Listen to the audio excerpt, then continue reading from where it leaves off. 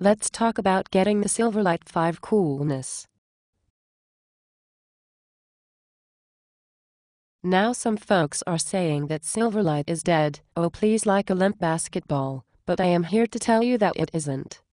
Seriously, Silverlight and XAML are going to be around, likely till Sam gets his certification completed.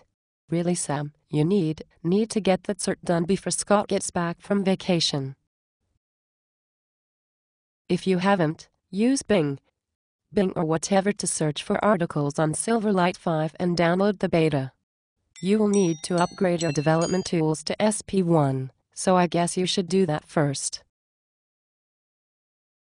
Go to the link below and find the current link to the stuff you need to download. Get started using this coolness that is Silverlight 5 beta.